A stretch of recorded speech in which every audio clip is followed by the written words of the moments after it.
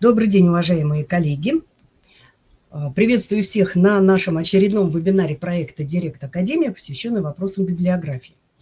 И сегодня мы поговорим с вами о работе с источниками. У нас был уже один вебинар а, в ноябре месяце, а, где мы разбирали классификацию источников, как это делается, для чего это нужно, какие они бывают, и говорили, что это очень важно для небиблиографов. Сегодня мы поговорим немножко о э, других э, моментах, э, но тем не менее затронем все равно вопрос классификации, потому что без него никуда, но, конечно, не в таком объеме, как мы это рассматривали в ноябре.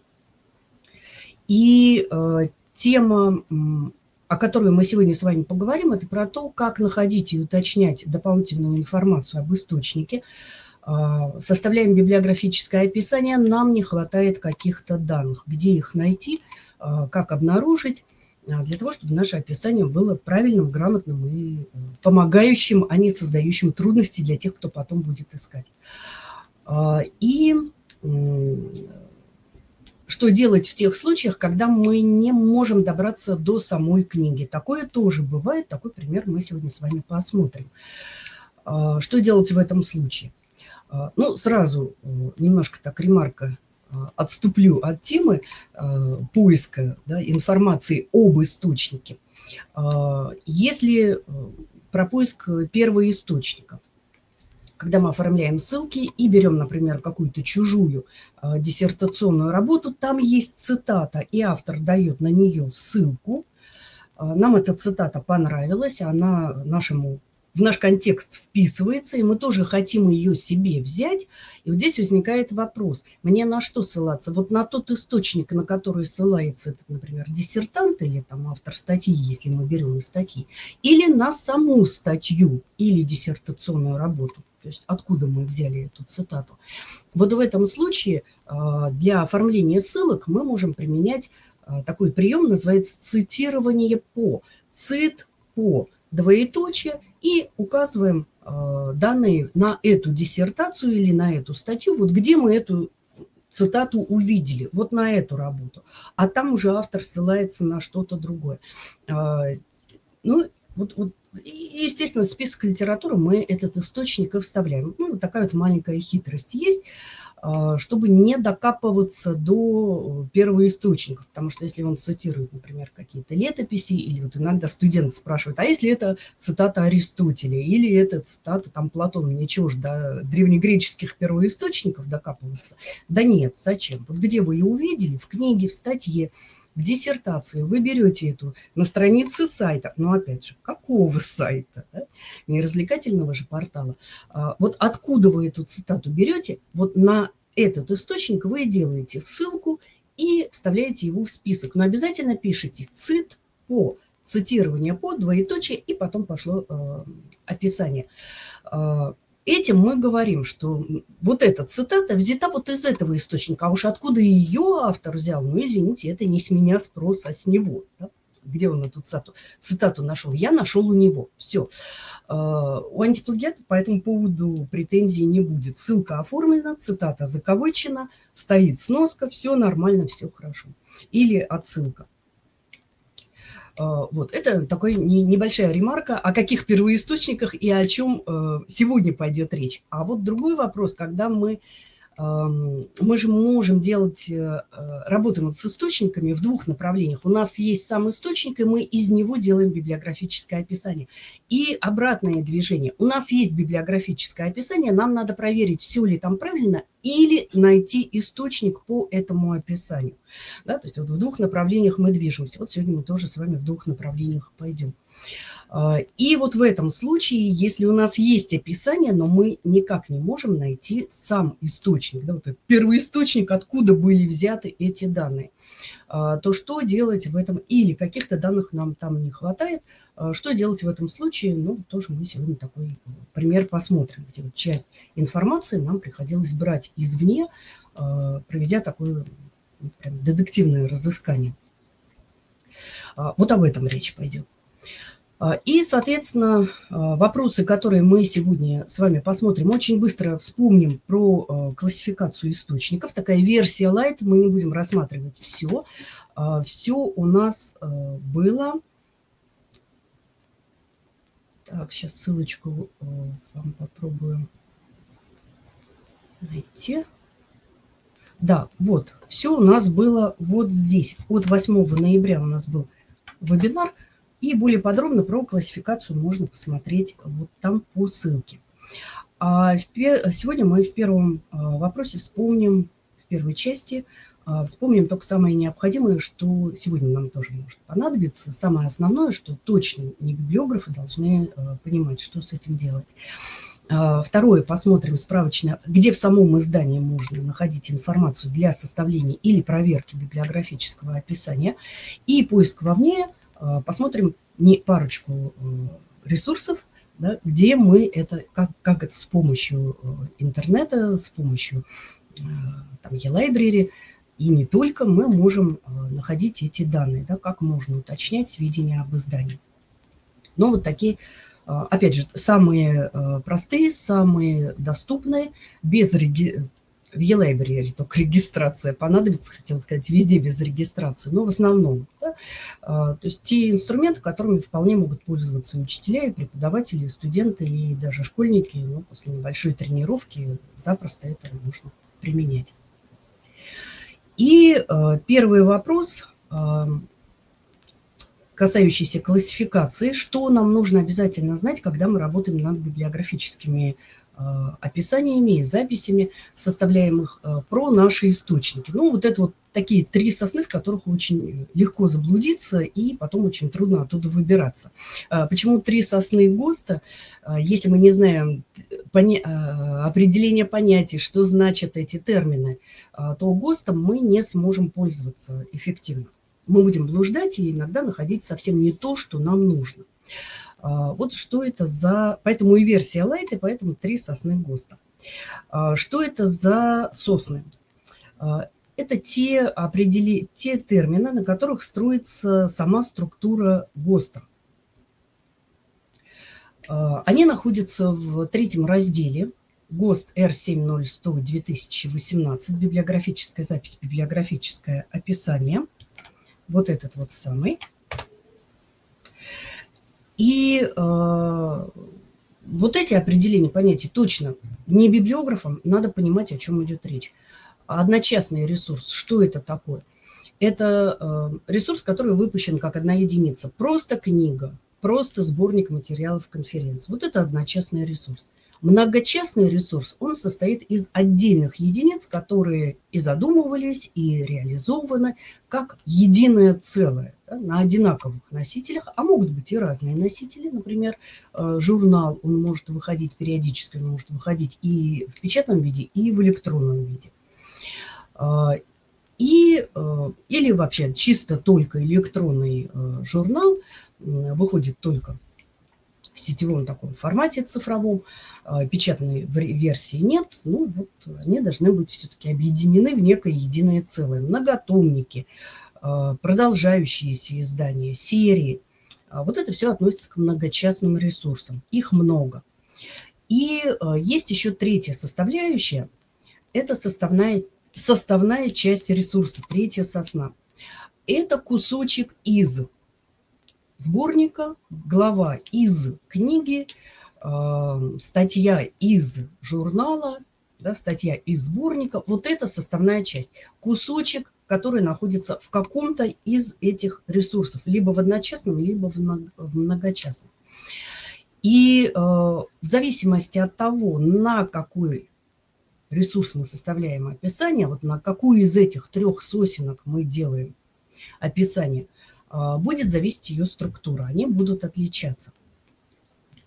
И э, как самое главное, когда у нас есть источник в руках или на экране монитора, суметь их отличить, где, где кто.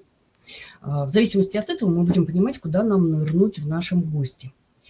А, одночастный и многочастный ресурс. Вот, например, титул, первое, что мы изучаем, это титульные листы. Вот это явно ресурс одночастный, а вот это ресурс явно многочастный. Почему? На первый взгляд мы их легко можем отличить. А, в многочастном ресурсе всегда будет в отдельной единице многочастного ресурса а, том, выпуск, книга, часть, раздел, номер и так далее. А, вот мы видим том 1. Ага, все, мы уже знаем, что это ресурс многочастный, мы на это будем обращать внимание, когда делаем библиографическое описание. Увидели номер журнала, да, там, номер выпуска. Может быть том и выпуск в разных конфигурациях встречаться, сочетание этих э, слов. Э, все может быть, но самое главное, что есть слово, эм, том, часть, выпуск, номер, книга и цифры. Все. Вот мы понимаем, что вот это вот один из, одна единица из множества, из, это многочастный ресурс, отдельная единица многочастного ресурса, вот так он называется. А вот это сам, сам по себе сборник. У него нет никаких томов, номеров и прочее. И вот мы уже можем ориентироваться, э, куда нам посмотреть э, в нашем госте. Э, где ну и, соответственно, статья может быть как из одного, так и из другого э, сборника. Это уже будет составная часть. Э, где нам это пригодится? Ну, в первую очередь для того, чтобы сориентироваться в самом госте. На первый вопрос мы ответили. Это у нас в руках, например, многочастный, э, одночастный сборник или книга. Вот книга просто книга. Если возникают какие-то вопросы, и нам надо уточнить, а как сделать это, как сделать то, а как сделать все. Мы смотрим, берем ГОСТ, и смотрим пятый раздел. Одноуровневое библиографическое описание. Одна частная, одно уровневое. Все, вот. Для одночастных это вот сюда. Пятый раздел. А там они идут как раз по порядку структуры библиографического описания. И мы смотрим, находим нужный пункт и на него ориентируемся. Если у нас, как в предыдущем примере, том первый из какого-то многотомного собрания, то здесь мы смотрим два раздела. А, у нас одна единица из многотомника, значит для нее вот эти правила тоже будут действовать, но есть исключения, которые нужно смотреть в шестом разделе. Хотя оно называется многоуровневое библиографическое описание. Как правило, мы не делаем многоуровневых библиографических описаний, я имею в виду не библиографов, в тех же списках литературы, в а, ВКР, магистрских э, диссертационных исследованиях и прочее. Обычно мы работаем с одной единицей из многочастного ресурса, да, с томом из многотомника. Но а, а вот многоуровневое описание – это другая история. Это то, как э, в каталогах отображается эта литература сразу на все собрание сочинений, сразу на все тома. И наверняка видели там иногда написано, написано, да, библиографическое описание, а потом идет том 1, том 2, том 3, том 4, т, т, т, т. Вот, вот это многоуровневое описание. А, так делают в библиотеках, так делают в каталогах. Вот для них это шестой раздел, для библиографов, каталогизаторов, библиотекарей. Но там есть а, пункты, которые касаются сериальных изданий, то есть наших сборников, наших а, не сборников, а наших журналов, периодических, продолжающихся сборников, да, серий, вот тогда, в этом случае, мы заглядываем еще в шестой раздел и ищем там, где есть слово «сериальный». Если у нас продолжающийся или периодический сборник. Как это определить, мы чуть попозже с вами посмотрим. Вот в этом случае. А, поэтому вот эти вот два раздела действуют. Если у нас статья из одночастного или многочастного ресурса, в первую очередь мы смотрим вот сюда. Седьмой раздел, он как раз посвящен составной части ресурса. И делаем описание по седьмому разделу. Но почему у нас стоят отсылочки к шестому и к пятому? А, в самом а, разделе 7 есть отсылки к пунктам 5-6 раздела в зависимости от того, из какого источника у нас статья. А мы помним, что вот эти описания зелененькие, да, они у нас состоят из двух частей.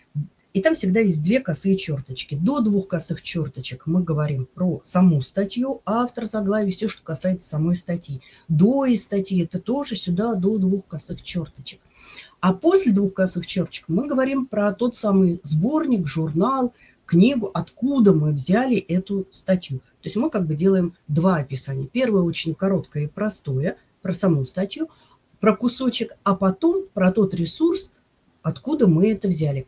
Соответственно, нам понадобятся либо из шестого, либо из пятого раздела пункты, которые этого второй части касаются этого самого журнала, сборника или книги. Потому что там мы эти данные приводим как для целого ресурса. Но есть э, нюансы. Вот эти нюансы в седьмом разделе отображены. Поэтому, когда мы работаем с составной частью, со статьями, э, с главами из книги, мы в первую очередь смотрим все, что касается этого вопроса в седьмом ресурсе, э, в седьмом разделе, и потом при необходимости переходим либо в одночасный, либо в многочастный и смотрим уже уточнения там, как правильно это сделать. А, вот это, э, то есть вот это вот преимущество, да, зеленое это преимущество для статей. Ну, вот такая вот структура, куда глядеть. Поэтому, э, чтобы не листать лихорадочно ГОСТ, вот где нам пригодится знание вот этих трех определений. Э, что у нас в руках? У нас одночастный, многочастный или же это составная часть. Что касается электронных ресурсов, статья сайта, статья еще там из электронного журнала, смотрим тоже седьмой раздел, и плюс еще эм, ГОСТ 2022 года, Э, библиографические ссылки на электронные ресурсы. Ну и можете посмотреть наши э, вебинары там на, на нашем канале можно найти. Мы как раз разбирали очень подробно, как делать на электронные ресурсы, на статьи.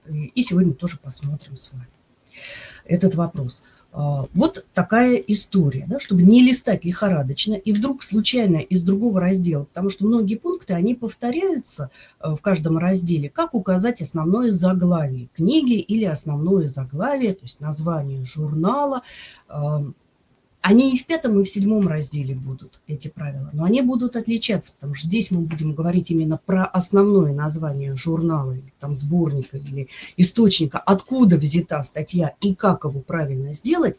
А здесь мы будем говорить про целый ресурс, про саму книгу, про сам журнал, про сам сборник.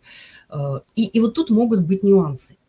А если мы не знаем вот этого распределения, да, а, произрастания сосен и куда они свои корни запустили и куда в первую очередь надо посмотреть, а, то мы можем схватить из чужого раздела а, те пункты, те правила, которые к нашему случаю никакого отношения не имеют. Получится гигантская путаница. А к чему она приводит, я вам попозже постараюсь показать.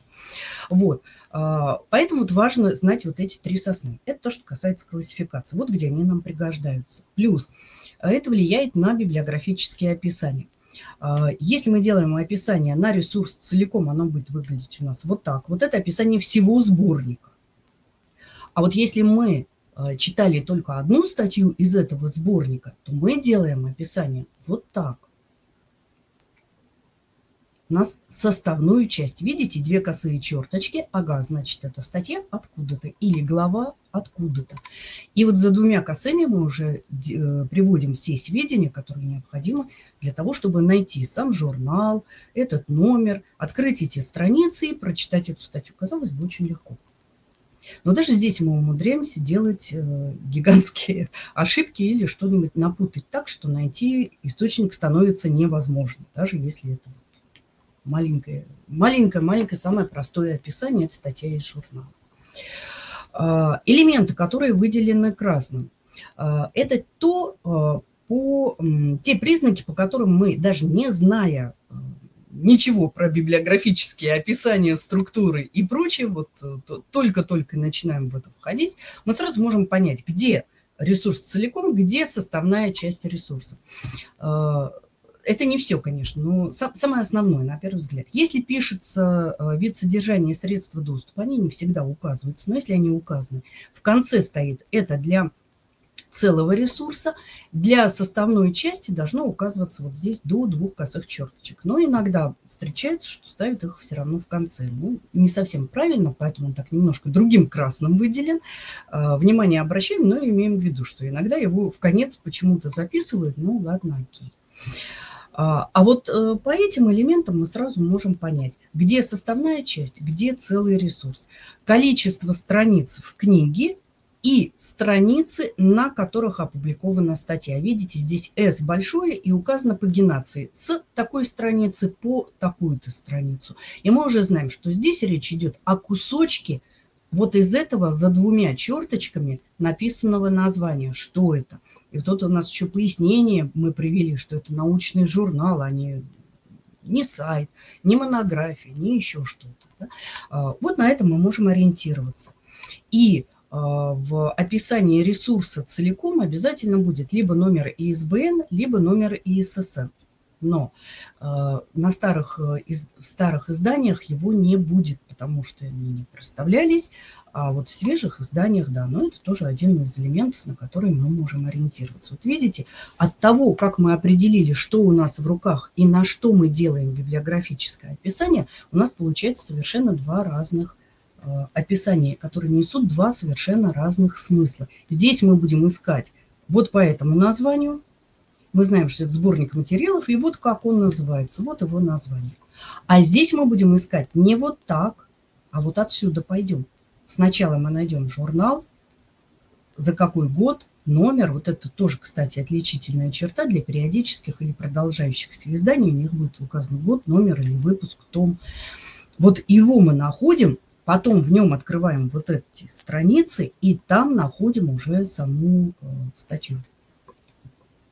А, вот это тоже влияет, где это еще может нам пригодиться, э, влияет на нашу тактику поиска, да, выстраивание поиска, что мы будем искать. Ну и, соответственно, где мы это будем искать.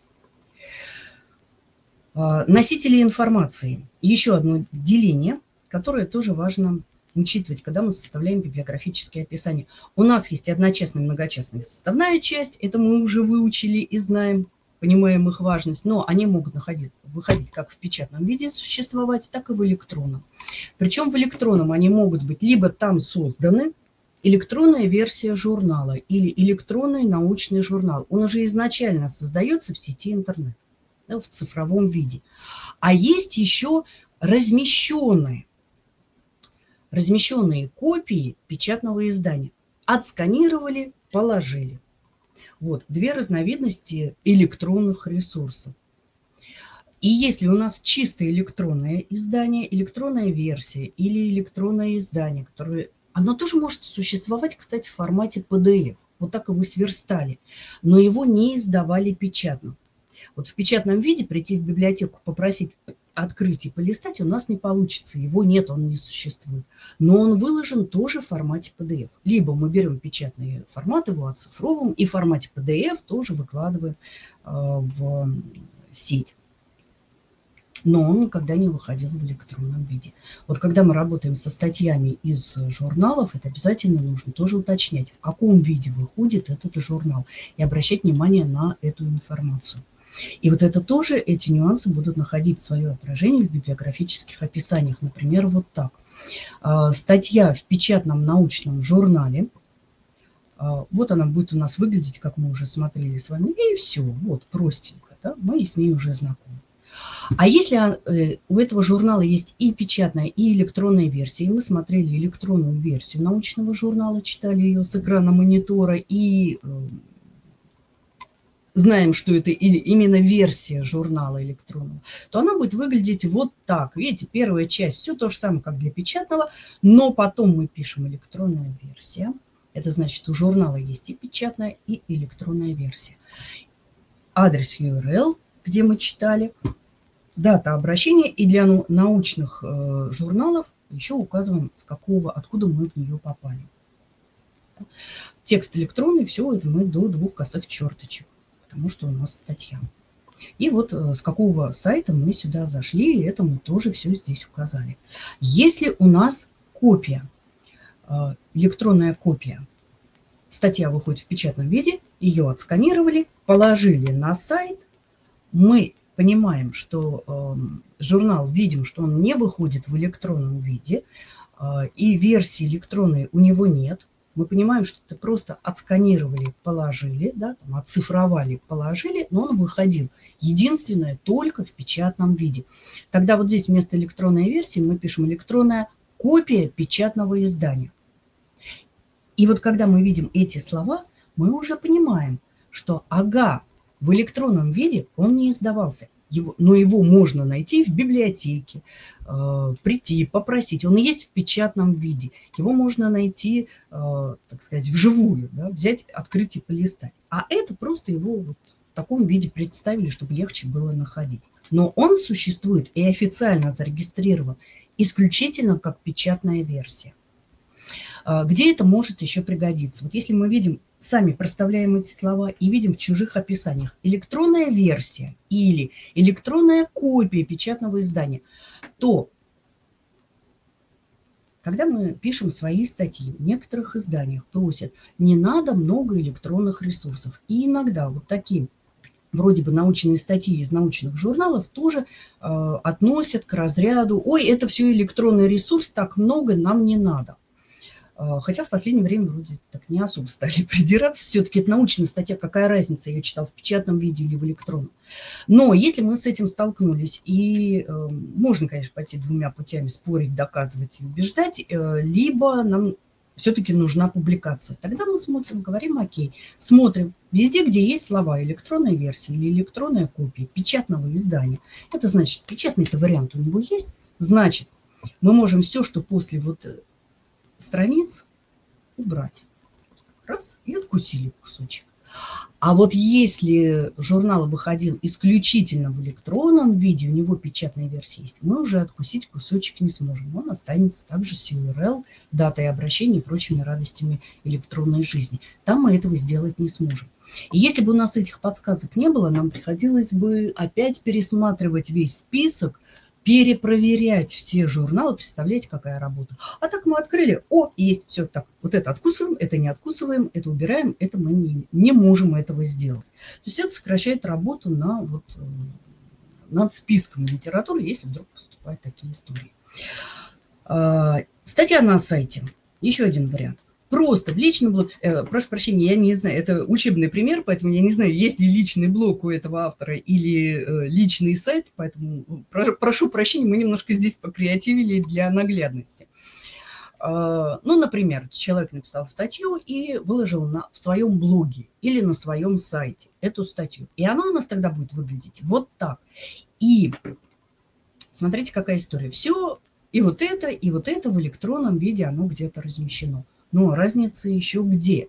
Если это научный журнал, то это одна история. Мы ее можем включить, например, в список при библиографии. Если это просто статья на сайте, на каком-то выложена, то у нее нет статуса научной. Хотя она по тексту там может быть вполне даже научная. Но в издательстве нам скажут, вот судя по этому описанию, которое вы даете, это просто страница сайта, на которой размещена какая-то там статья. Она прошла издательский цикл, не прошла. Была она официально издана? Нет.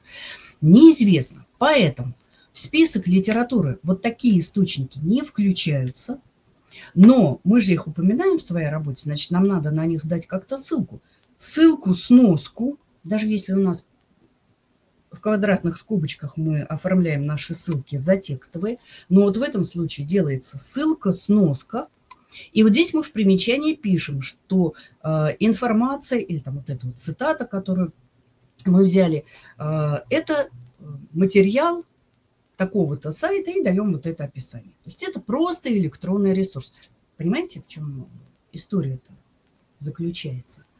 Она потеряла как бы у нас статус научный, хотя она по сути-то является, ну, ту же самую статью автор положил к себе на сайт. Да? Но если там нет указаний, что она была издана где-то в каком-то журнале, она уже под понятие научной статьи не, не попадает. Поэтому, если у вас такие источники встречаются, а, попробуйте перепроверить, как это можно сделать. А вдруг она была официально издана. И тогда она повысит свой статус, попадет в список при статейной библиографии, и у нас все замечательно и прекрасно. То есть не лишайте сами себя Э, возможности увеличить список литературы. И мы его хорошенечко так э, можем увеличить. Как перепроверить? статей... Ой, прошу прощения, коллеги, что-то у меня а, камера начинает барахлить. А, скажите мне, пожалуйста, хорошо ли слышно? Поставьте, пожалуйста, огонек. Да, что-то у меня немножко отключилось. Ага, слышно. Хорошо, тогда пока, надеюсь, что она поправится. Не будем на нее отвлекаться, поэтому просто посмотрим, посмотрим дальше. А, мы можем проверить... Э, ну ничего, Александр, я надеюсь, что сейчас поправится камера. У нас получится. Давайте я попробую тогда перезайти. Быстро.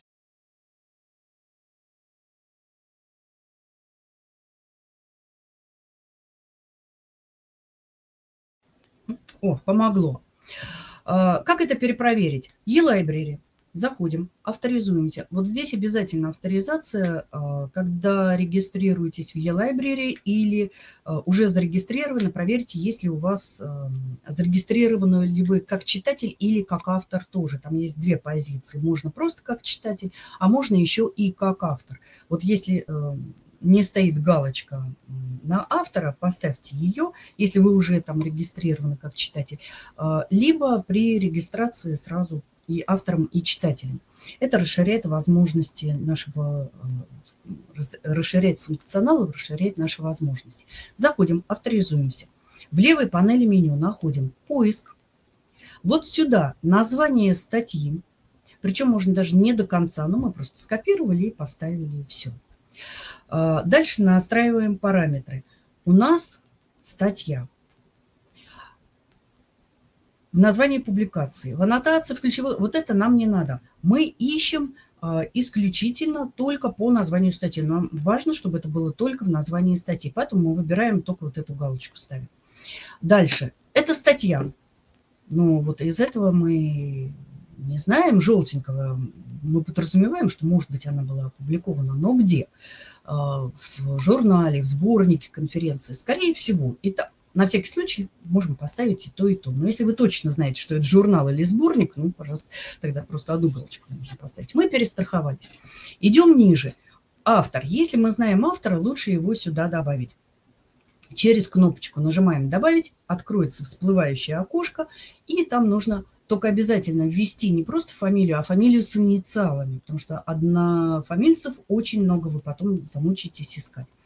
А, фамилию с инициалами поставили, там нажали, а, ее ввели, и можно сразу окошечко закрыть. Она автоматически добавится сюда. Проверяем, в поле автор есть. А, ну и все остальное мы можем даже не трогать. Видите, мы здесь вот как стояло по умолчанию настройки, мы их даже не, не, не потрогали. Поиск, и вот смотрите, он нам нашел. Буквально пару минут, и он нам пишет, что «О, а статья-то была, оказывается, опубликована. Ну, супер. Вот оно, вот они данные, но мы не берем данные вот отсюда просто копипастом мы вставляем к себе. Вы видите, что нам их для библиографического описания придется немножечко поправить и перепроверить. Здесь тоже очень интересно иногда пишутся данные. Но, по крайней мере, мы нашли источник. Да, мы знаем, все, мы вот эти данные можем забирать, и мы удостоверились, что эта статья была официально опубликована. Все супер. А, обращайте внимание, а, есть еще три сосны, которые, о которых нам важно помнить. Есть издание, есть публикация, есть неопубликованные или не, публику, не публикуемые документы. А, про них мы сейчас говорить не будем, а вот эти две вещи для нас важны. Термин публикация мы и там, и там используем. И когда говорим про издание, и когда говорим просто про публикацию. Вот наш пример, статья сайта – это публикация для массового использования, да? для массового ознакомления. Она на публику. Но статья, опубликованная в научном журнале, она тоже публикация, но она официальная публикация. А, публикация издания. Вот, вот здесь важно две разные публикации отличать друг от друга. Она, э, статья, которая э, публикуется в научном издании, проходит издательско-редакторский цикл, она рецензируется, эм, она выходит в издание, которое зарегистрировано, у него есть номер ИССН. Если о книгах то же самое. Кстати, я могу написать книгу, положить на свой сайт и назвать ее книга. Это будет публикация. Но вот эта публикация. Я не могу, я не имею права ее продавать как книгу, потому что у нее нет номера СБН. Для того, чтобы она была зарегистрирована в Российской книжной палате. Она, ее могли приобретать на законных основаниях там, библиотеки, например, книготорговые организации. Вот для учета контроля нужен номер ИСБН. Для периодических продолжающихся изданий это номер ИССН. То есть это официально изданная, и вот тогда она приобретет совершенно другой статус. Почувствовали разницу? В описаниях, если это официально издано, и есть вот эти номера ИСБН или звание научного журнала, которому присвоен ИССН, а, мы можем делать на них описание как на книгу, как на, э, там, на электронную книгу, на журнал, на электронный журнал, на статью из научного журнала.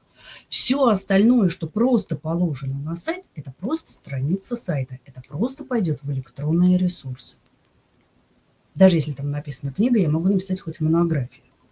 Но эта монография являться не будет. Это, ну, вот так захотелось автору назвать. Почувствовали разницу? Вот на что важно обращать внимание. И то, что издано, оно идет в список литературы, научной литературы. То, что не издано, но опубликовано, оно идет в список электронные ресурсы. Какая-то что-то, э, статья, страница, сайта, блога и так далее. То есть чувствуете, как ранг меняется. Да? Вот это научная литература, а это уже не научная литература получается. А, вот обращайте на это внимание. Вот как знание вот этих вот э, маленьких нюансов, оно может влиять на э, то, как мы будем делать описание. Э, где находить эти сведения? Рассмотрим на примере книги. Что для нас важно? Титульный лист – это титул, оборот титульной, титульной страницы. И концевой лист. Вот две вещи, которые для нас важны. Самое главное – это титул, оборот титульного листа, но не забываем про концевой лист. Он нам тоже э, пригождается и очень сильно может помочь. Это то, что находится в конце книги, там, где типография отпечатана, подписана в печать, принята в типографию и так далее. А, и вот такой штрих-код, э, номер ИСБН, иногда вот таким штрих-кодом тоже сейчас стали размещать, он тоже здесь находится. Вот важные вещи, где находятся наши предписанные, скажем так, источники, откуда мы берем информацию. Титул «Выходные сведения» содержит. Что здесь есть? Надо, вот прям вот по схеме я вам здесь расписала, потом можете посмотреть, поизучать уже более подробно. А, а вот схема, берем самую простую, для книги по областям, элементам. Что где находится, вот мы их здесь с вами привели. А, и вот мы составляем по этой схеме и пользуюсь вот этой шпаргалкой, а, описание, ну, на эту же книгу, например. Вот мы смотрим, заголовок, вот он, ага, значит, заголовок у нас где? В самом начале, вот он у нас сюда пришел. Есть, отлично. Основное заглавие, вот оно. Вот его берем, прямо вот как здесь написано, мы его сюда вставили. Отлично, смотрим. Жанр, целевое читательское назначение. Это что такое? Можем открыть ГОСТ, посмотреть четвертый раздел или посмотреть пятый раздел. У нас одна книга целиком, это одночастный ресурс. А, что это такое? Это пояснялка. А, это не монография, это не сайт, это не драма, не комедия, не роман в стихах, да, не сборник, а именно учебное пособие. Вот оно нам пояснило, что это такое. Из названия не очевидно. А, вот это пояснялка. Пояснялки – это сведения, относящиеся к заглавию. Что оно поясняет? Заглавие. Вот мы его после заглавия пишем. Вот все по схеме мы идем, сделали. А, за косой чертой. Первые сведения об ответственности. Смотрим в гости, что это такое. Это автор или авторы. Вот мы его записали. Было бы несколько авторов, мы бы их сюда записали. А, было бы пять и больше, мы написали бы первых трех и ИДР. Откуда мы эти правила берем? Опять из ГОСТа одночастный ресурс, одноуровневое описание, пятый раздел, и вот там смотрим, как прямо вот по элементам. Они как раз по этой структуре, вот по этой структуре, они располагаются, эти пункты, ровно по э, порядочку. Поэтому, если вопрос какой-то возникает, где это искать в ГОСТе? А, так, стоп, стоп, у меня что? У меня книга. Пятый раздел, отдельно, одночасно, одноуровневое описание. Пятый раздел – И вот по порядочку, схему, тынь-тынь-тынь, у меня какой вопрос про место издания, где оно идет? Ага, сведения. Ищу, ищу вот эти названия, сведения об издании, физическая характеристика, ищу это в гости подразделы, ага, между ними вот оно место издания, все, я смотрю вопрос ответ на вопрос. А, то есть она, вот эта схема, она тоже помогает ориентироваться в самом госте. Написали. А, издание третье. Куда мы это пишем? Сведения об издании. Вот оно. Вот мы его сюда написали. А, дальше, место издания. Ну, область немножко по-другому называется, мы ее по элементам расписали. Москва, издательство, год, вот они, вот, я беру отсюда, вот они, у меня уже стоят знаки, я просто вставляю сюда свои слова. А, академическая книга, это что такое? Серия, вот у меня подсказка идет, серия, ага, смотрю, в гости, где там серия, она всегда в круглых скобочках, после страниц, вот я написала все. А, ну, текст непосредственно, это уже, если она только печатная, вот написали все в конце сами. Да. Чего у нас не хватает? У нас не хватает страниц номера СБН. С титульного листа мы этого не увидели. Ну, смотрите, мы практически все собрали. Это как пазл собрать. Мы ничего не придумываем. Мы берем схему и по схеме делаем э, описание. У нас не хватает номер СБН на странице. Открываем оборот титульного листа. Вот он номер СБН, вот он номер СБН. Да, вот это пояснение в обложке мы, мы, мы с вами, как не библиографы, можем не писать. Да. Вот он номер СБН, вот мы его взяли, поставили. А, количество страниц, откуда его взять? Ну, иногда можно взять отсюда, но перепроверьте. Если у вас есть источник на руках, откройте, посмотрите количество страниц проставляется по последней нумерованной странице. То есть если у вас заканчивается текст, например, 240 а, страниц, а потом идет еще ненумерованное какое-то приложение на 10 страниц, мы пишем вот эти 240 страниц.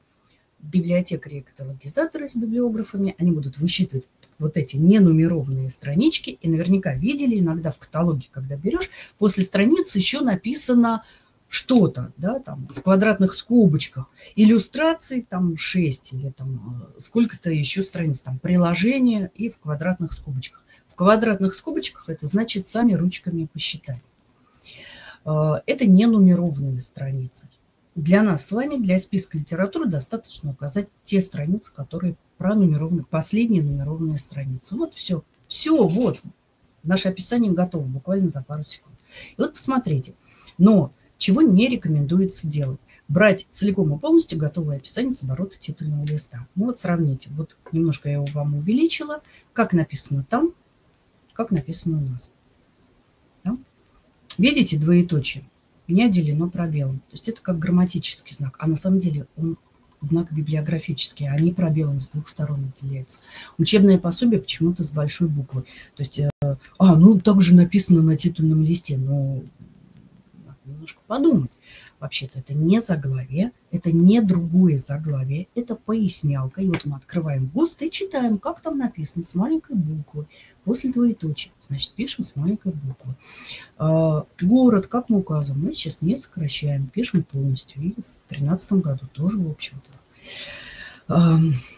старые описания, вот они будут содержать такие нюансы, которые нам надо исправлять. Да?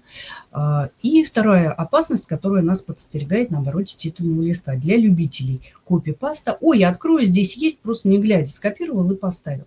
А, очень много сейчас в целях экономии изданий выходит э, в формате э, в редакторской, в авторской редакции. Что это значит? Вот как автор принес текст, включаем макет аннотированные карточки. То есть он сам составляет библиографическое описание, вот это на обороте. А, ну и СБН только не присваивает и индексацию чаще всего не делает. А, сам пишет аннотацию. Вот как он принес вот это, вот это так и пойдет в печать. Вот это называется в авторской редакции. Быстрее издается, дешевле стоит, но последствия э, могут быть катастрофичными для нас с вами и для автора тоже. То есть здесь мы можем допустить какие-то ошибки, их могут не проверять. То есть вот это вот в авторской редакции может быть в таком виде. А, поэтому, э, пожалуйста, э, вот этот вариант, пожалуйста, пожалуйста, учитывайте. Да, то есть доверяй, но проверяй. То есть нужно все равно найти этот источник и перепроверить. А, именно поэтому у нас сейчас очень много таких описаний, которые просто с оборота титульного листа себе в список источников. Мы потом из него, из этого списка источников к себе, другое из на, от нас, и пошло гулять э, вот это по сети. Да? А потом мы не можем найти этот источник, а потому что вот так составили описание. А, поэтому, пожалуйста, имейте, а, имейте, пожалуйста, это в виду. Ну и э, концевой лист, вот что он содержит. Он еще раз повторяет те данные, которые были на титуле, поэтому если что-то нам там вызывает сомнение, мы можем проверить здесь. Э, и содержит международный стандартный номер СБН. Если вдруг там мы его не обнаружили, мы можем его найти здесь. И выпускные данные. Выпускные данные, э, смотрите, особенно в случае расхождения годов.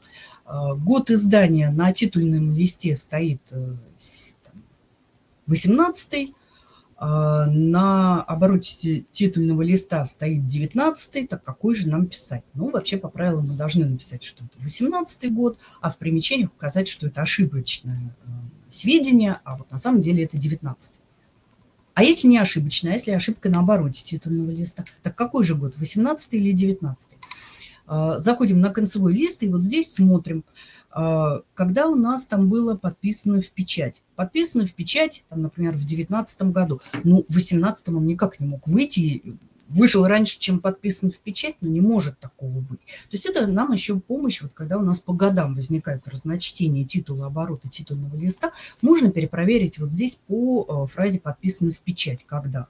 Да? Ну, вот мы можем так сориентироваться. Ну, тогда в примечаниях, в области примечаний в конце мы напишем, что на титуле указано вот так.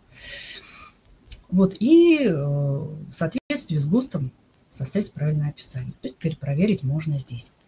Но не всегда так бывает. Иногда титульные листы могут выглядеть очень э, загадочно. Ну, например, вот так. Вот э, оборот титульного листа. На титульном листе только название автор, больше ничего. А, либо вот такая информация у нас есть. То же самое, оборот титульного листа выглядит вот так. На титульном листе только название, красивая картинка, все. А, либо вот такое. Э, издание, не знаю, как это, что это, да? А, вроде бы выглядит как книга, но есть номер, значит, это журнал, а если а, а, ну, описание сделано как на книгу. А, а как он называется? И каждое вот это название, оно разное. То есть получается, там идут номера, выпуски, э, но э, каждый раз название разное. То есть нет как-то единого названия журнала. То есть это не журнал, но номера выпуски, 8 выпусков в год. Или это все-таки журнал? Или что это? Да? А, а описание идет как на книгу. Так э, это, что вот это вот просто книга, а вот это вот это э, серия. А если это книга, то номер какой должен быть, СБН, ССН, э, что? Вот загадка природы, да, что это за источник. И вот в этих случаях мы не можем обойтись без самого источника. Материала в нем содержится недостаточно, либо он требует уточнения или перепроверки. Нам это необходимо сделать. А, поэтому нам нужно осуществлять поиск вовне. То есть, смотрите, внутри источника мы уже знаем, откуда брать предписанную информацию, но иногда ее недостаточно, либо она настолько запутана, что нам приходится обращаться а, куда-то еще и находить либо сами источники, либо информацию о них. Где мы это можем сделать? Ну, вот возьмем вот тот самый пример. Это, кстати, реальный случай. Э, студенты писали проект, и вот руководитель э, этого проекта обратилась с вопросом, мы с ними замучились, что делать? Вот все, что есть на обороте титульного листа. На титульном листе, на обложке только автор, название и там красивые картинки, больше все, больше ничего нет. Ни года, ни аннотации, ни ББК, ни УДК, ни авторского знака, ничего, видите? Даже вот так может выглядеть оборот титульного листа. Слава богу, есть ИСБН. Так вот, если мы сталкиваем э, ИСБН не просто так э, красивые, э, красивые цифры для усложнения нам жизни, это наоборот для облегчения. Если мы пишем номер ИСБН в самом описании, приводим то по номеру ИСБН, мы можем найти источник. В теории должно быть так. Радостно мы берем номер ИСБН. Я говорю, а что же вы по номеру ИСБН-то не поискали? Ну, попробуйте найти. Нету такого.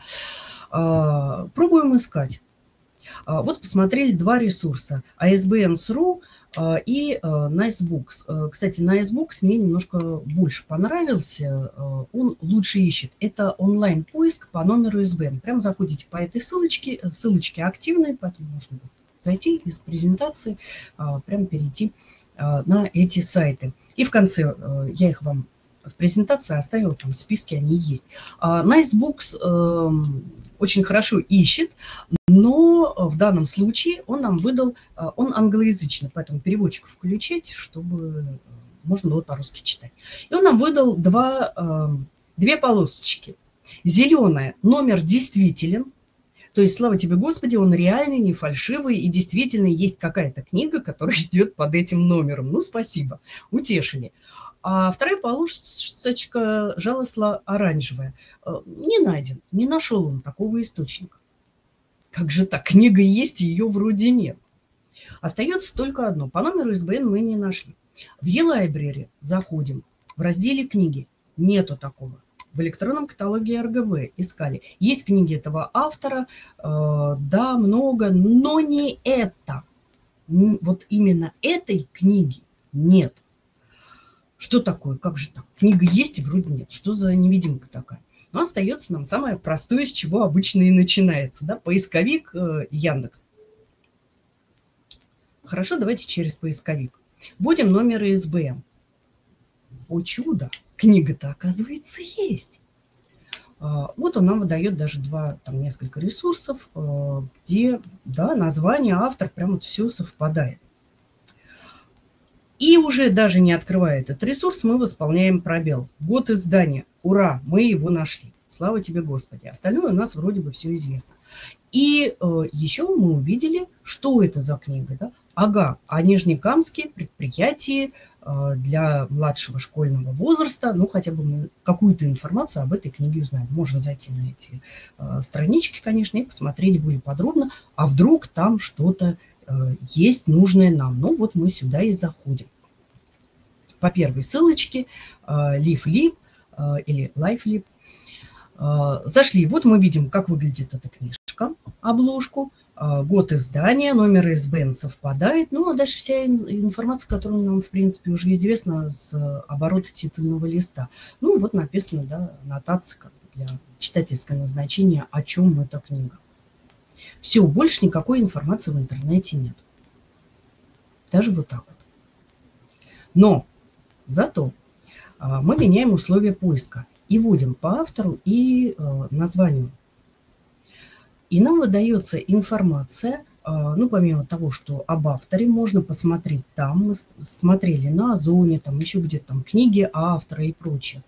Э, информация, если и была, то только вот в таком виде, не более того. То есть мы ничего нового оттуда не узнали. Но зато нам стали попадаться статьи об этой книге. Она где-то мелькнула. А, автор не найден, но зато есть название книги. А, что вот, а, во-первых, какая-то информация с сайта ВК отдела комплектования и обработки литературы там, библиотеки. И второе, новость, новостная какая-то статейка о том, ну, статейка, простите, не пренебрежительно, маленькая статья, да, об этой книге она упоминалась. Вот мы, вот это мы как раз открываем и смотрим. Что мы отсюда смогли получить? Казалось бы, совершенная информация. Мы узнали самую важную информацию для нас. Почему она такая э, загадочная? А это было подарочное издание для первоклассников э, Нижнекамска, э, которое там вот губернатор, мэр, кто-то там вручал торжественно, вот в количестве там, 300 штук оно было отпечатано. И вот, вот, то есть она не поступала в продажу, она не для распространения по библиотекам. Это подарочное издание, особое издание. Вот, вот эта информация для пояснялки к заглавию. Что это за книга? Да вот сюда мы можем написать, что это подарочное издание.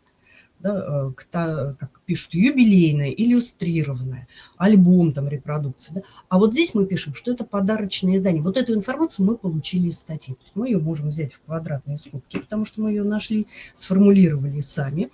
А, и а, мы узнали, когда это было, и самое главное, мы установили примерное количество страниц. То есть вот, есть фотография, к счастью, была книги открыты примерно посередине. Там значилось 34 страницы, 34, 35.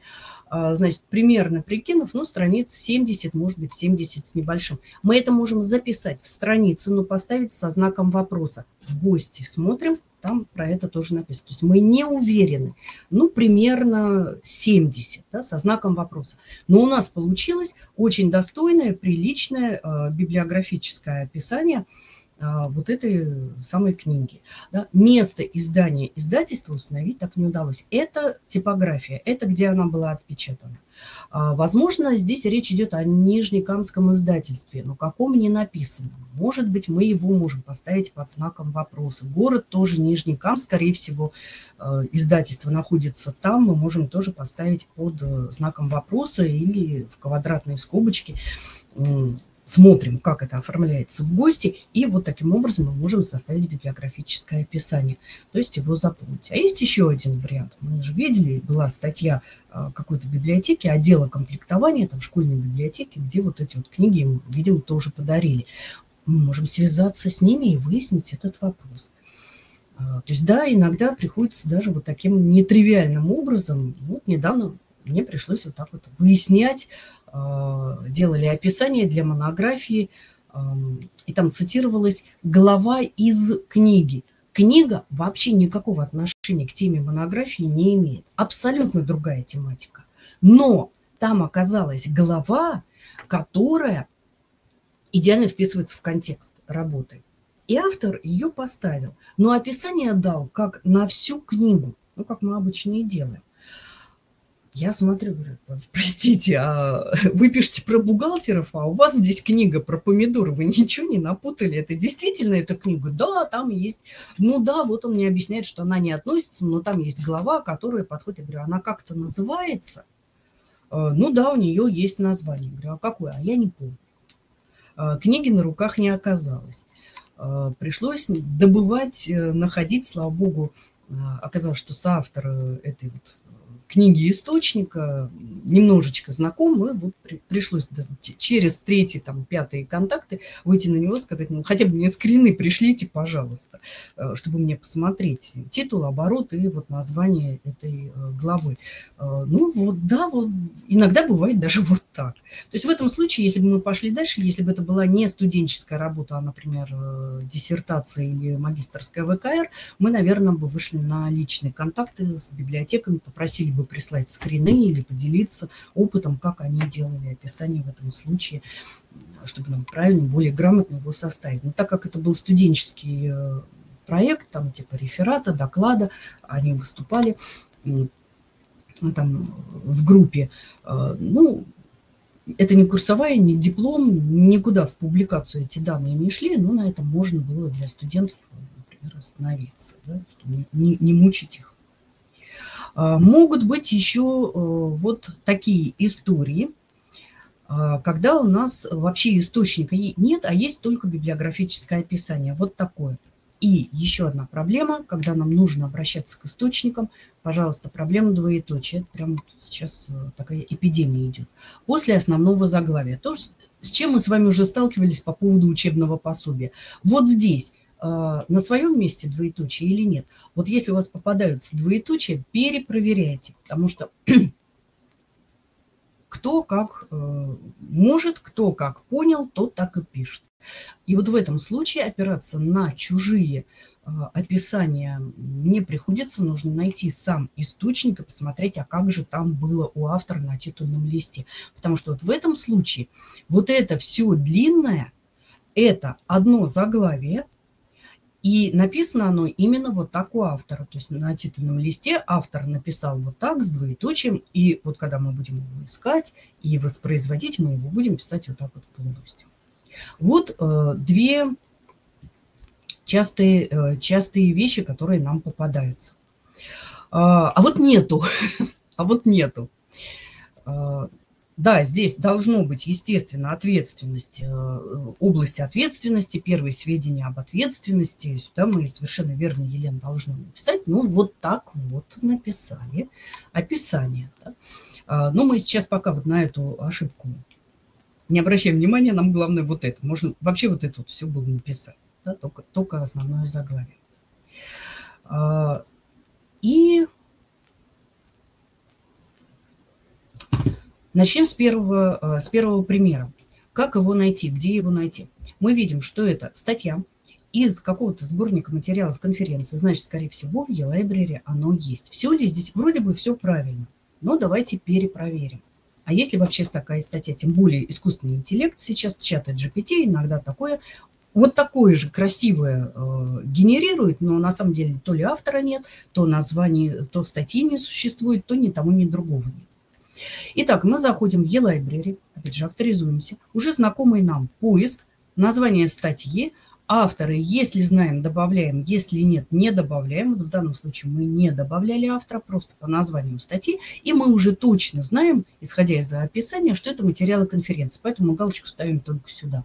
И вот он нам выдает результат. Слава тебе, Господи, такая статья есть, автор есть, все нормально. И даже сборник такой есть, но Видите, он называется немножко по-другому. Не просто ломоносовские чтения научные, а студентов, аспирантов, молодых ученых 2019. Ага, значит, есть еще 2020, 2021, 2022 и так далее.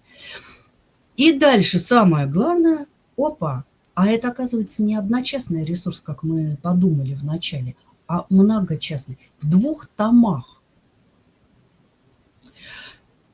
А, кто ответственный, да, издательство, составитель, год есть, э, страницы указаны, все вроде бы хорошо, за исключением одного момента. А в каком томе из этих двух опубликована эта статья? Вот из этой информации, которую мы получили справочной, да, э, мы этого не видим. Значит, нам надо найти для нашего правильного описания, в каком же из этих двух томов эта статья была опубликована. И тут мы можем пойти двумя путями от поиска сначала сборника, потом статьи, либо от поиска э, статьи и через нее перейти к сборнику. Показываю оба. Если мы идем, э, ищем сначала сборник. Заходим вот э, в левой панели меню, навигатор. Мы выбирали поиск, а теперь мы выбираем либо журналы, либо книги. У нас сборник материалов конференции. Значит, это, скорее всего, книги. Это не журнал. Пробуем с него. Ага, есть, нашел. А, вот сюда мы можем добавить год. Мы его уже знаем, поэтому мы сокращаем вот эти все 2020 и прочее, они нам уже не будут воспроизводиться. Вот сюда в условия поиска ставим год, сортировка, ну, ставим погоду. И вот здесь выборку лучше делать все книги на портале e-library. Мы не знаем, он входит в РИНЦ или нет, индексируется или нет. Поэтому ставим, чтобы все нам показал. Даже если он не индексируется, мы его найдем. Нажимаем поиск. И вот он нам выдает, что есть три издания. Первый том, второй том и вот что-то вообще просто. Просто том. Да? У нас в двух томах. Значит, мы либо этот, либо этот будем смотреть. Ну, а дальше просто открываем каждый том и там выискиваем автора. Вот это не очень удобно. Если нам нужно уточнить сведения о самом сборнике, который мы точно знаем, ну, тогда да, тогда вот этот э, поиск по э, навигатору через каталог книг или журналов, вот этот путь удобно осуществить.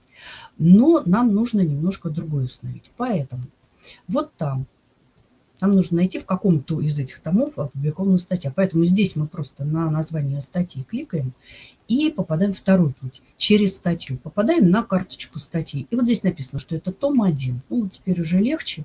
Мы можем либо через э, каталог книг его искать, а здесь вообще шикарно. Смотрим, а, смотрите всегда правую панель инструментов.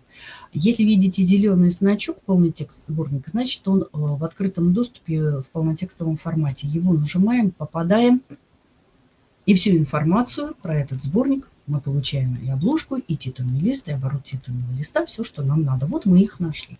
Но не всегда вот этот значок есть. Он может быть закрыт. И вот тогда нам понадобится найти сам, э, информацию о сборнике в том же e-library. Она будет предоставлена. Вот как раз как мы первый путь смотрели с вами. И э, здесь на карточке статьи, во-первых, уточняем все сведения, да, телеавторы, страницы, год, тип, статья в сборнике трудов конференции, да, все, все нормально, все совпадает. И если нам не хватает информации о самой конференции, которую мы в описании должны написать, вот смотрим, если это сборник конференции, обязательно информация о ней будет. Когда, год э, и так далее. А, вот, пожалуйста, всю информацию мы собрали, спокойно можно делать описание. Нажали на зеленую стрелочку в кружочке, и вот мы получили всю необходимую нам информацию. И вот вопрос теперь про, а если, кто у нас там спрашивал про электронные, да, а, запись для оборота титула книги выходит только в электронном э, варианте, Наталья Мороз, вот вам, пожалуйста, сборник выходит только в электронном варианте. Да? Как это оформлено здесь? Но не как образец. А, вот ровно так же вы можете ее указывать, да, только писать, что это электронное издание.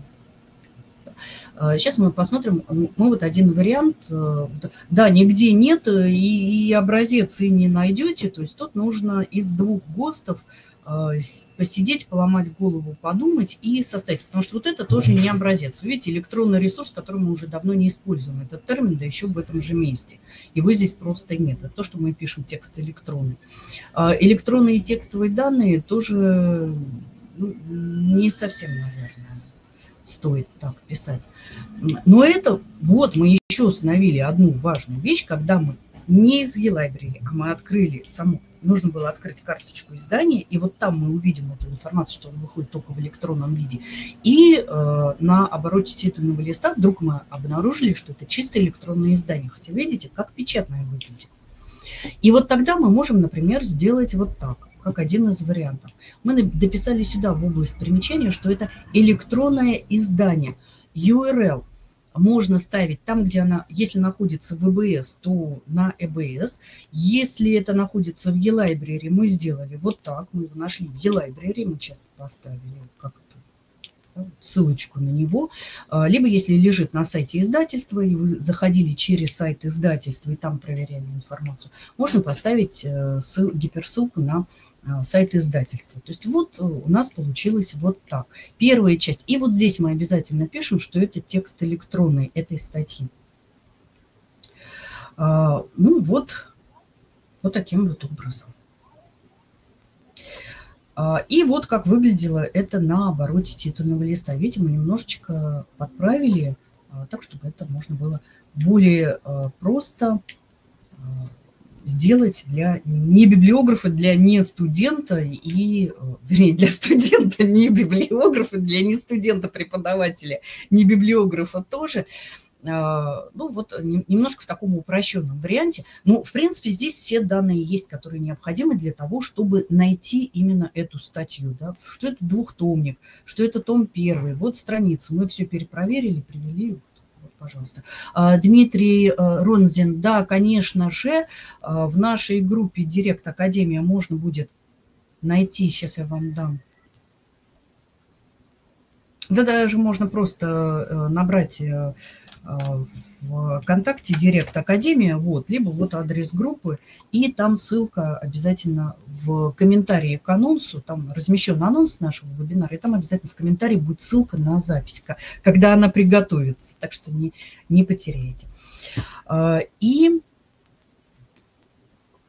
вот для статей.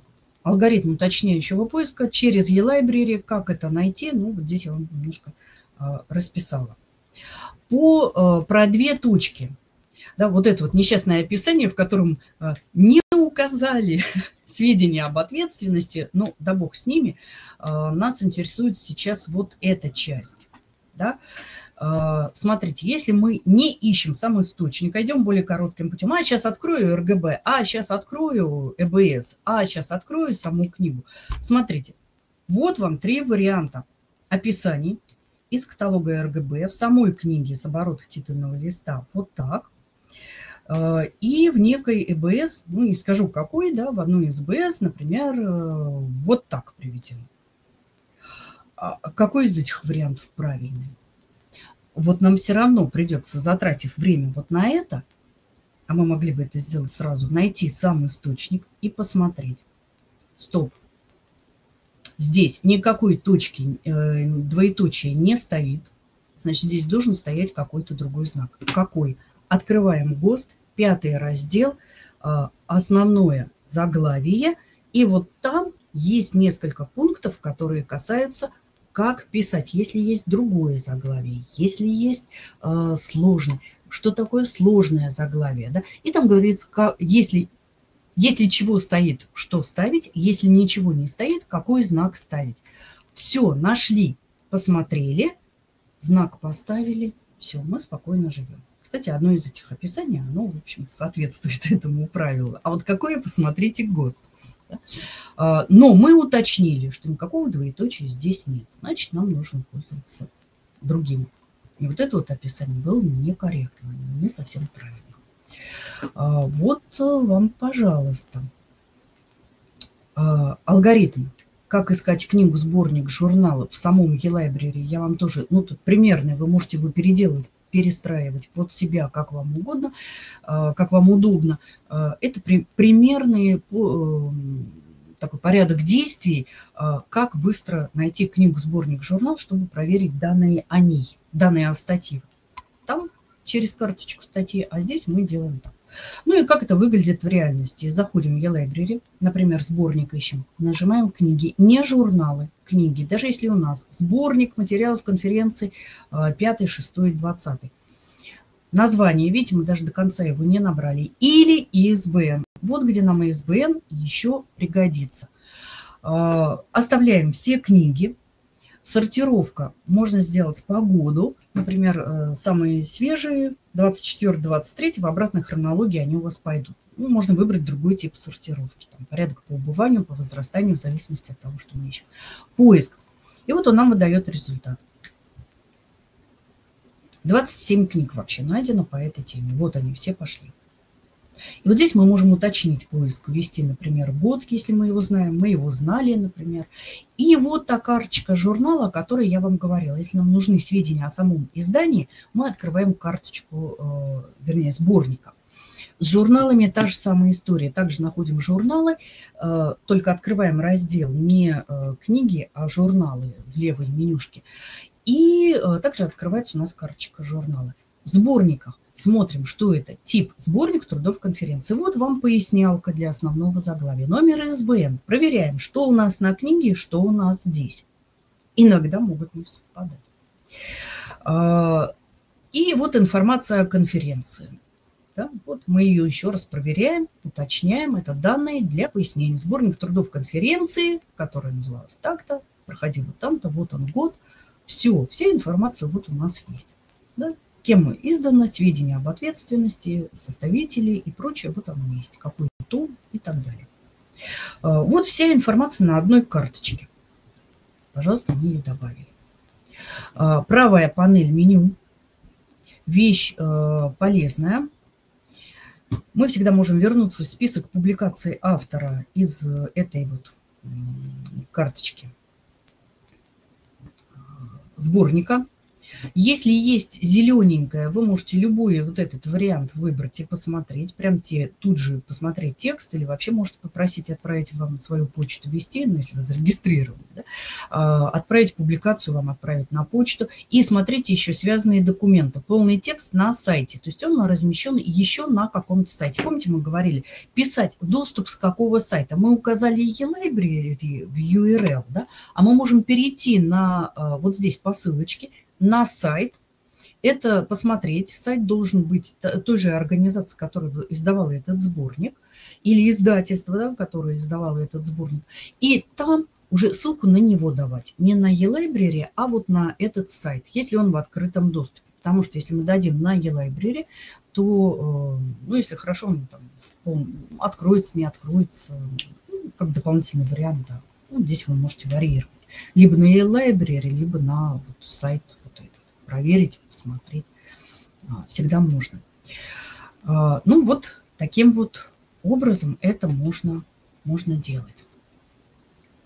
И про журнал то же самое. Только мы заходим в каталог журналов, э, название журнала или ИССН, то же самое, э, поиск, и вот он нам выдает результаты. Вообще вот по этому названию только один журнал. Здесь без вариантов. Нажимаем на название журнала и попадаем на карточку. Вот здесь самое главное, смотрите, тип сериального издания. Периодическое или продолжающееся. Э, периодическое. Элементы сериального издания. Выпуск журнала. Хорошо. И вот самое главное способ распространения в печатном и электронном виде. То есть есть и печатная версия, и электронная версия. А вот здесь вы маленькая хитрость, еще никому не говорите. А, вы можете либо то, либо другое указать в своем а, библиографическом описании, потому что и то, и другое есть. Даже если вы читали с экрана монитора, вы знаете, что издательство а, или научный руководитель, которому вы понесете свою рукопись, не приветствует электронные издания, вот в этом случае вы можете указать печатное издание ставить библиографическое описание как для печатного издания. Надеюсь, все услышали, кому нужно. А, ну, это не совсем правильно и верно. Ну, а что делать? Ну, ну, надо как-то подстраиваться под те требования, которые нам предъявляют. В этом случае мы это можем сделать. Но если у вас будет написано только в электронном виде, этого сделать вы не сможете. Если у вас написано только в печатном виде, значит у вас Помните, мы говорили, статья, и перед URL мы пишем электронная копия печатного издания. Делаем описание как на печатное издание, пишем, что это электронная копия, а потом URL указываем страницу, где мы, э, адрес, где мы ее читали, эту копию. Но в этом случае вы тоже можете указать только печатную версию. Ну, получится, что как бы вы ее ручками, глазками читали, перелистывали, честно сидя э, в читальном зале библиотеки. И обращайте внимание на историю переименований. Смотрите, с 10 по 18 год этот журнал назывался по-другому. И если у вас статья там 15 года, вы указываете уже не вот это название, а вот это. Да? Но в примечаниях пишете, что он был переименован сайт. Вот сюда можно будет перейти. И э, да, вы можете указать вот это название в описании, если у вас статья 2015 года, но в примечаниях э, перед URL вы укажете, что э, до там, 2018 года назывался вот так-то. Вот тогда будет правильно. Сайт можно перейти, проверяем. Ну и там тоже архив можно будет посмотреть. Ну и проверяем ИССН, который стоит на журнале э, и который обозначен здесь. Да, они должны совпадать. Ну и для аспирантов э, важная история, там внизу еще скрывается процент отклонения, рецензирования и так далее. И вот уже изучив вот эти данные, мы можем посмотреть и составить одно из наших описаний да, есть оно на e-library или нет. Конечно, не все статьи попадают на e-library. А, может быть, э, организация может подавать э, журнал на индексирование в РИНС не полностью, а только отдельные статьи. Например, в журнале там 50 статей, а когда мы открываем в e-library, да, смотрим, а там всего 4. Вот 4 из этого журнала были проиндексированы, остальные нет но это не значит, что их нет. И вот тогда мы осуществляем розыск, мы разыскиваем этот номер и э, в архив номеров, идем на сайт издательства. И вот здесь нам уже вот эта вот информация пригодится. Идем вот сюда, разыскиваем, смотрим, было, не было, э, опубликовано, не опубликовано. Ну, тут целое разыскание приходится проводить. Хорошо, если они еще все в открытом доступе можно почитать. Ну, ну, такие истории тоже бывают. Поэтому это как бы хорошее подспорье э, e-library, но не э, супер панацея. Да? То есть истории могут быть разные. И вот то, что мы с вами сегодня разобрали, где еще может пригодиться. Вот а, при поиске в базах данных, в каталогах, ну, на примере того же e-library смотрим, мы знаем, что есть целые ресурсы, есть составная часть, и нам нужно, например, найти все публикации в периодической печати, а, в, журнал, в научных журналах определенного автора. И вот мы видим находим автора, находим список его публикаций, и вот мы смотрим море-море всего, где здесь статьи Вот если мы умеем читать библиографическое описание и помним, что у нас есть целые ресурсы, есть э, составная часть ресурса, то и как выглядит ее описание, то мы ищем только составную часть ресурса. И вот смотрите, вот это, это статья. Авторы вроде есть. Но написано учебник, конечно, нет, скажете вы. А вот эта статья Актуальные проблемы социальные ТТТ, сборник научных статей, том 2, выпуск 7, Москва, 2019 год. А как называется сама статья? А как называется сборник? А, значит, скорее всего, вот это сборник научных статей. Конкретный выпуск. Вот это, вот, ага, вот это скорее статья, потому что мы видим название журнала, год, номер и страницы, помните, S большой, на которых эта статья опубликована. О, отлично, вот это то, что нам надо, это то, что мы себе скопируем. А вот это вроде бы материалы конференции. Автор здесь есть? Нет. Номер, том, страницы, самое главное, здесь есть? Нет, не указано. Только материалы и год. Это целый ресурс, это сам сборник. Значит, автор принимал в нем какое-то участие. Причем участие может быть тоже различным. Смотрите, здесь он в авторах указан. Он автор учебника, он автор статьи, и если мы ищем авторские публикации, мы их берем. А вот здесь они тоже в его списке публикаций, но каким боком? А вот это, почему здесь указано? Он там публиковал статьи или нет? Так вот, есть три варианта, которые, кстати, э, вот в помощь магистрантам и особенно аспирантам – и не только. А, в e-library, например, присутствует. В других ресурсах это может быть по-другому отражаться, но тоже обращайте внимание вот на этот нюанс. А, он может быть автором учебника или статьи. Мы их можем открыть и увидим эту информацию об учебнике. Да? Вот автор, все. Это, это авторские публикации, официально изданные, мы их можем использовать. А вот в этих двух оставшихся сборниках он выступает не автор, а как кто. Открываем, смотрим. Редакторы нет. Рецензенты есть. Ага, значит, он является рецензентом этих статей. Очень интересно, э, сборник трудов конференции. Он проверял эти статьи где может пригодиться эта информация. Ну и, кстати, чтобы каждый раз вот так ручками не открывать, мы можем сделать еще хитрее. А, настроить поиск по автору. Смотрите, где это может пригодиться. Если вы ищете рецензента, оппонента, научного руководителя для себя или для э, товарищей, своих коллег или еще кого-то, а, попробуйте зайти через e-library. Во-первых, можете посмотреть, кто писал на а, схожей с э, требуемой темы, посмотреть их публикации. Ага, качество публикации устраивает, да. Открываем карточку автора, его профиль, смотрим, вот список публикаций автора, находим e-library, и наверху есть параметры. И вы можете выбрать вот этот параметр участия в публикации у вас откроется вот такая вот табличка, э, списочек. И вы можете увидеть, и сразу пишется, что он являлся научным руководителем 21 работы. Скорее всего, это диссертационные исследования. Могут быть, может быть и в магистрский ВКР, но чаще всего здесь указываются диссертационные исследования. Он является рецензентом в 23 источниках. Угу. Дважды выступал редактором и один раз ответственным редактором. Вы можете сделать выборку. Например, нас интересуют только публикации. Сделали по способу участия или там по числу публикаций. И э, вот мы находим результат, знакомимся с публикациями этого автора. Если мы хотим посмотреть, э, рецензентом в каких изданиях он выступал, и мы ищем рецензента для своей статьи, например, нужно, или для э, своего издательства, чтобы пригласить человека выступить рецензентом, пожалуйста, вы нажимаете сюда и смотрите. Также у вас открываются все данные по этим изданиям. А, научный руководитель. Вот так, кстати, себе можно найти научного руководителя. Посмотрели, кто по вашей тематике или близко к тому писала работы, открыли, э, нашли этого автора в e-library, открыли список его публикаций, отобрали все его личные публикации, посмотрели, что они из себя представляют, а потом вы смотрите раздел «Научный руководитель», какими диссертациями он, например, руководил, а, как прошли защиты.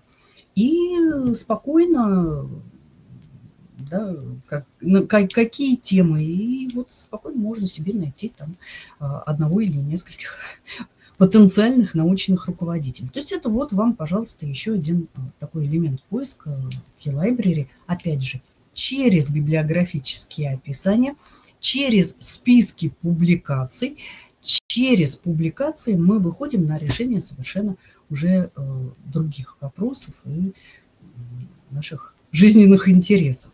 Ну вот библиография вам в помощь. А, полезные ссылки для поиска информации, то, что я вам обещала, вот эти по ИСБН, портал ИССН ссылку тоже дает, там можно проверять журналы. Кстати, когда вот помните, у нас был журнал, непонятное название, на портале ИССН номер вводим, и он вам показывает, как называется, как он зарегистрирован. Он зарегистрирован как журнал под названием то, что у него значилось как серия. И э, подсказки по e-library, вот то, что мы с вами смотрели, чтобы вам каждый раз не искать, я их вот вам основные вынесла э, прямо в отдельные ссылки, и можно сразу по ним переходить к, э, к полям поиска. Вот. Э, ну вот, коллеги, такая вот история на сегодняшний день. Э, буквально за несколько часов до вебинара у меня тут появилась еще одна э, детективная история, но это я, наверное, вам уже э, отдельно ее э, сделаю и расскажу. Тоже связано вот как раз с нашей сегодняшней темой, но просто чисто физически не сможем оформить файл, файлы, слайды, наверное, тогда я уже в следующий раз вам ее покажу. Тоже очень интересная история. Пожалуйста, очень внимательно оформляйте свои списки литературы. Большая просьба, коллеги, не игнорируйте. А, да ладно, сойдет и так. А, сойдет и так приводит к тому, что вы составляете список рекомендуемой литературы на конференции для там, учителей младшей школы, торжественно его раздаете, а люди потом сидят в недоумении, а ничего найти невозможно. А нет такой книги. А, а вот в этом сборнике нет это, а мы не можем найти сборник.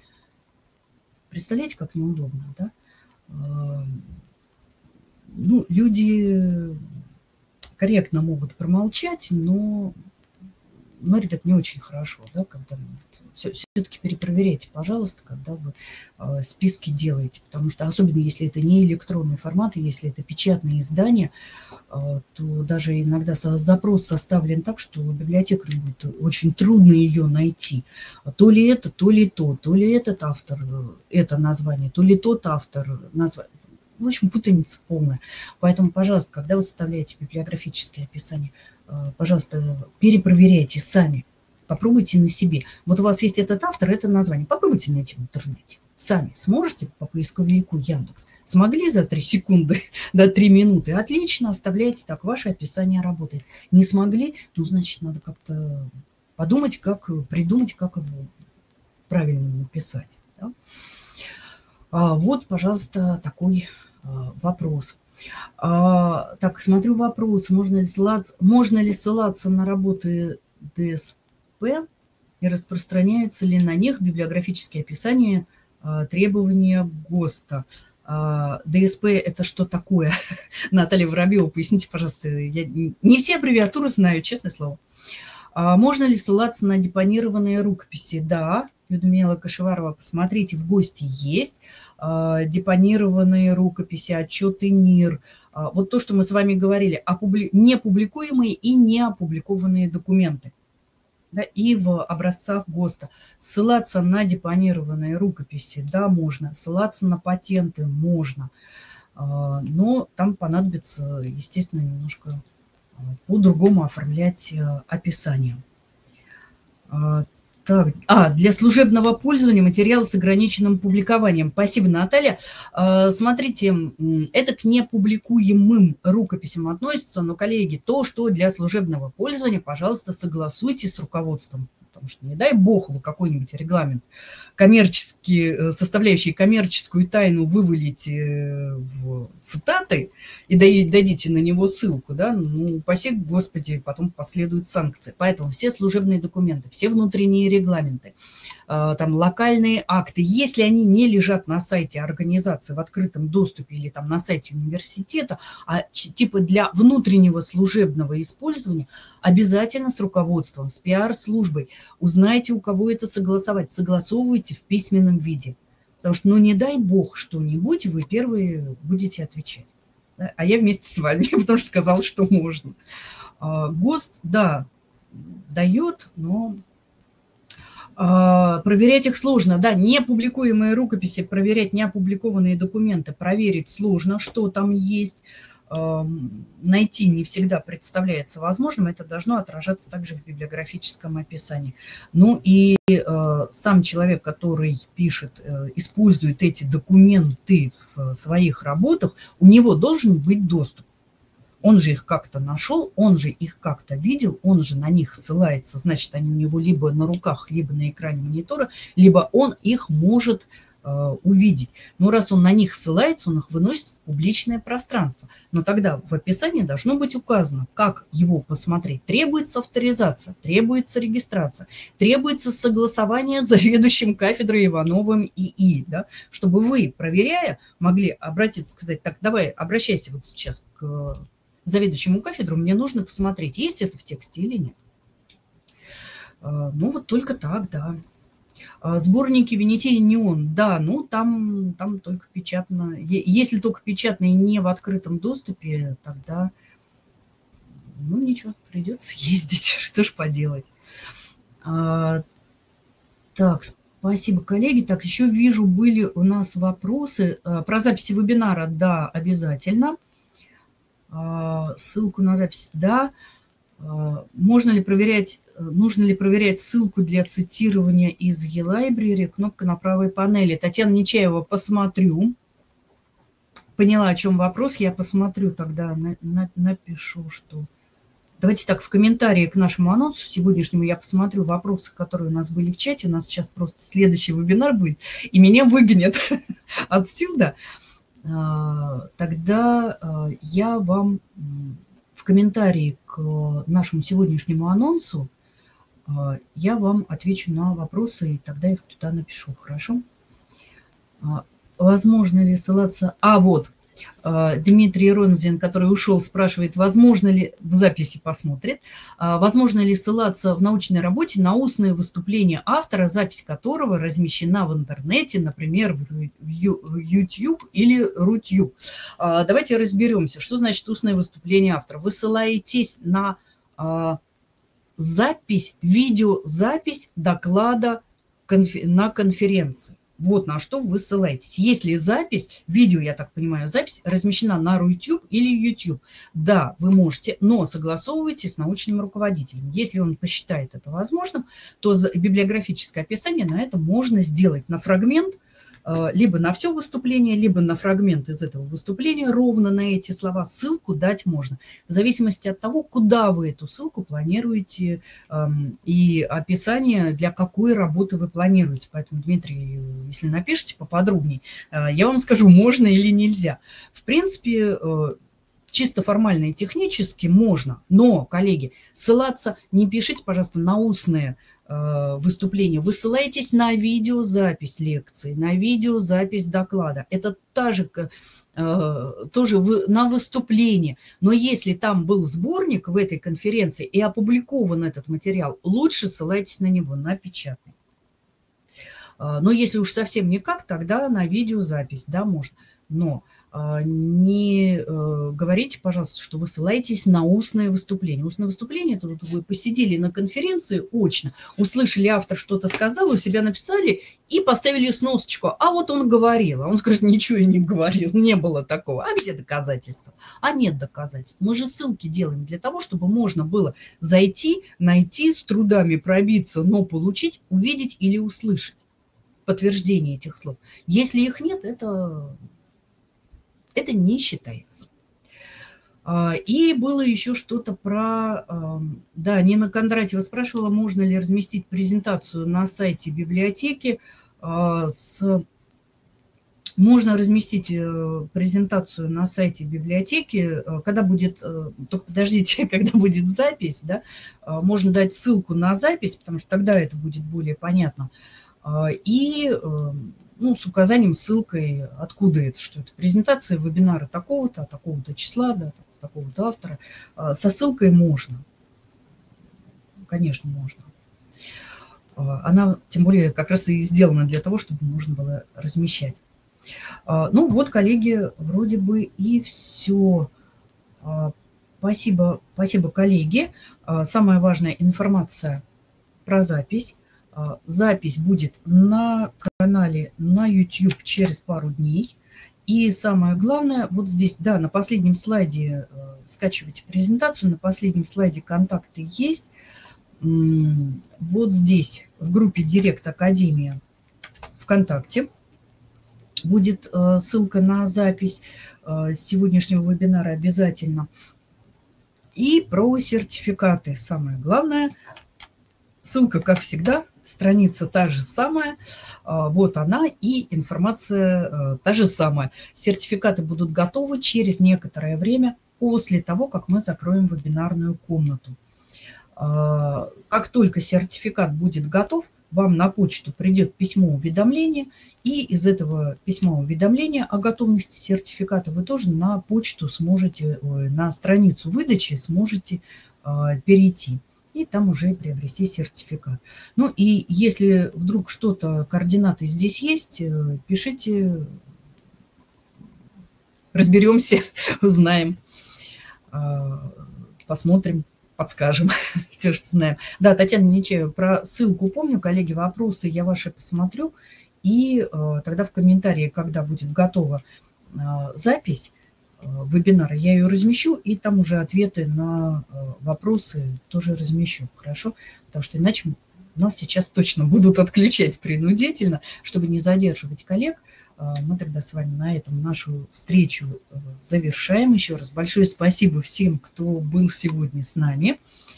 А, если будут какие-то пожелания по тематике, тоже я сейчас на следующий год уже начинаю повестку формировать, а, пожалуйста, то же самое, можете мне на почту, а, можете вот в нашей группе библиографии для небиблиографов там, в сообщение написать ваши пожелания, вот какие-то больные боли, как не люблю это слово, но да, вот где, где болит. А, мы тогда на следующий год э, посмотрю, что из этого можно сделать, и уже с учетом ваших пожеланий и вопросов мы уже составим тогда темы вебинаров, хорошо? Все, коллеги, всем счастливо, всем удачного дня, а, до новых вебинаров. А я передаю, передаю вебинарную комнату нашим коллегам.